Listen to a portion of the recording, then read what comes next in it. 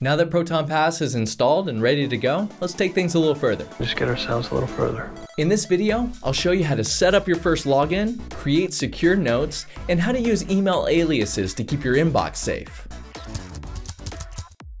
Let's start with the basics, adding your first login. When you log into a site, Proton Pass automatically detects the fields and prompts you to save the login.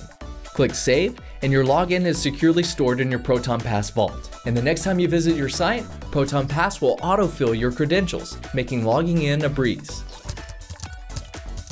Tired of entering your credit card details every time you shop online? Let's set up a card. Navigate over to the Proton Pass dashboard, select Add a new item, and choose Card from the options. Enter your card details and click Save. Just like that, you've streamlined your online shopping experience while keeping your data safe. Shopping. It can be frustrating having to hand over your email for every purchase or discount, knowing many companies will spam you from the moment you hit submit. But Proton Pass has a way of keeping your email private. Instead of using your real email, Proton Pass generates a random alias that forwards to your inbox. It's great for newsletters, online trials, or any site you don't fully trust. The emails will land in your default address, but you can also add it to multiple inboxes. This gives you responses sent to your email address of choice without giving it away. And if you ever stop trusting the site, you can simply disable the alias.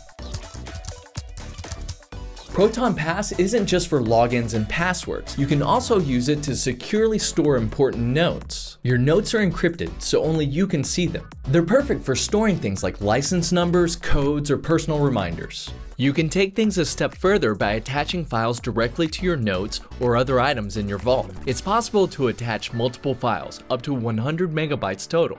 Need to store a copy of your passport, driver's license, or a backup of your tax returns? Just add it to an item and everything stays in one safe place.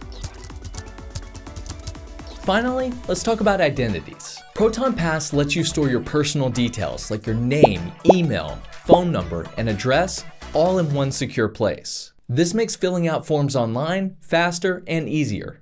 With Proton Pass, managing your digital identity is as simple as it is secure. If you found this video helpful, hit that like button, subscribe to our channel, and ring the bell for more tips on all things digital security and privacy. Got questions? Drop them in the comments below or join our community on Reddit. We'll see you in the next video. Bye.